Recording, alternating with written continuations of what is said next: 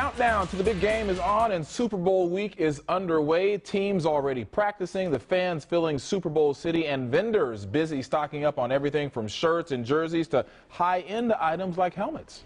And a lot of our favorite part, we're getting a sneak peek at some of the ads we can expect to see this Sunday. Lauren Freeman is joining us now. And Lauren, some of these, like always, like every year, look really funny. Some are funny. Some are not. Some, yeah. I mean, it's an, it's an unusual year of ads so far. Some of them are fun and funny.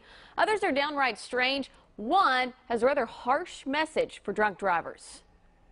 If you drive drunk, you, simply put, are a short-sighted, utterly useless, oxygen-wasting human form of pollution. Helen Mirren and Budweiser team up for a harsh ad to remind everyone drunk driving is stupid.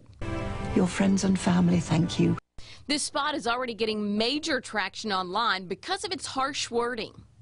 And this one from Snickers is rather odd. Happy birthday to you. Happy birthday to you.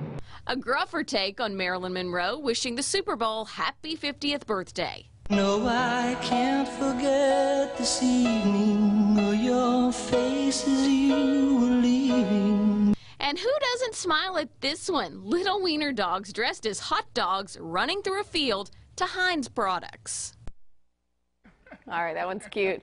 The rate for Super Bowl ads this year reported $5 million for a 30 second spot. So, yes, it will cost you. All right, Lauren, thank you. And as we gear up for Super Bowl weekend, I am heading to San Francisco with Randy McIlvoy to bring you full coverage of the big game.